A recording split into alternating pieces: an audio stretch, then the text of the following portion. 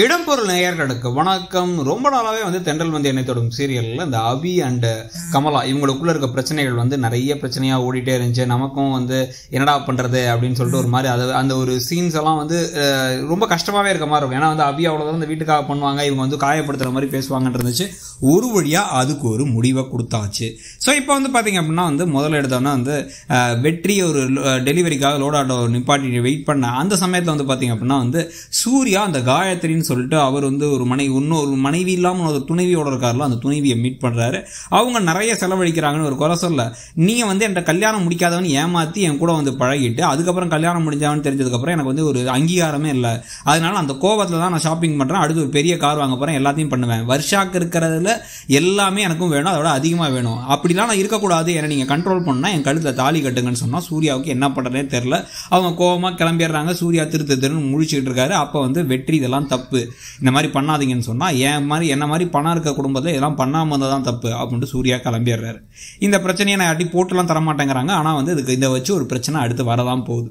இதுக்கு நடுவில் இங்கே வீட்டில் வந்து பார்த்தீங்க அப்படின்னா வந்து த- த- தச்சுக்கிட்டு இருக்கிற அபிட்டை வந்து நான் வேணா வந்து தையல் மிஷின் ஆப்ரேட் பண்ணிட்டுமாலாம் வந்து கால் வெட்டுவாச்சு ஆப்ரேட் பண்ணுறேன் அப்படின்னு வெற்றி சொன்னால் அதெல்லாம் பண்ண முடியாது. சைமல்டேனியஸாக ஒரே ஆள் பண்ண வேண்டிய வேலை இதெல்லாம் அப்படின்னு அவங்க சொல்லிக்கிட்டு இருக்காங்க.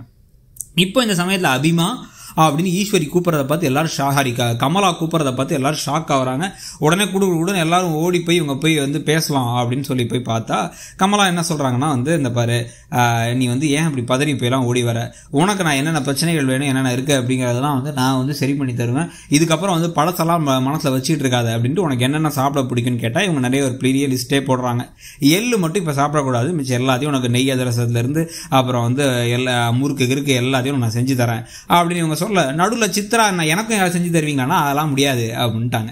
அதெல்லாம் இவளுக்கு மட்டும் தான் நீ ப்ரெக்னென்ட் ஆகுமோ உனக்கு பண்ணலாம் அப்படின்னா அவங்களுக்கு கடுப்பாக இருக்குது இதுக்கு நடுவில் வந்து ஒரே அபிக்கு வந்து வாயெல்லாம் பல்லாயிடுச்சு. இதில் இந்த பக்கம் பூங்காவனத்துக்கு கலெக்ஷன் கம்மியாயிட்டே போதும். ஏன்னா யாருக்குமே பயம் இல்லை. அவங்கள பார்த்தா ரவுடின்னு யாரும் நினைக்கவே மாட்டாங்க கேட்டால் தான் கெஞ்சி கேட்டால் தான் கொடுக்குறாங்க.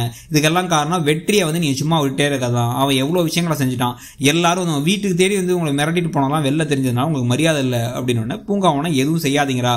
நான் சொல்லாமல் எதுவும் பண்ணாதீங்க. தேவையில்லாத பின்விளைவுகள் வரும்னு சொல்லிடுறாங்க. சரி வெற்றி மேலே கை வைக்கானா வெற்றியோட ஜாமான்க மேலே கை வைப்போம் அப்படின்னு சொல்லி அவங்களாம் சேர்ந்து முடிவு பண்ணுறாங்க இந்த சமயத்தில் வந்து இது விஷயம் பூங்காவனத்துக்கு தெரியவே தெரியாது. இதோட இன்னைக்கு எபிசோட் முடியுது. ஸோ இன்னைக்கு எபிசோட பற்றி நீங்கள் நினைக்கிறீங்கிறத சொல்லுங்கள் தேங்க்ஸ் இடம் பொருள்